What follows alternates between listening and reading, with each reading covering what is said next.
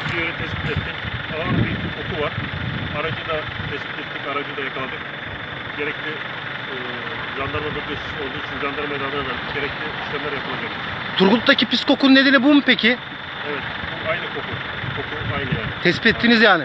Aynı. Evet. Turgutlu'yu birkaç günden beri pis koku nesini aldığı yeri zabıta müdürleri tespit etti gördüğünüz gibi. Lif çayının kenarına atıyorlar. Buradan aşağı doğru tutuyorlar zaten. Ma malzemeyi de görürsünüz zaten. Kalın bir oluşmuş durumda. Yani geçenki kokulan aynı kokuyla beraber. Evet arkadaşlar Turgutlu'da bir haftadır gündeme gelen pis kokularla ilgili zabıta müdürlüğü ekiplerimiz e, yaptığı çalışmalar nihayet sonuç verdi bu gece.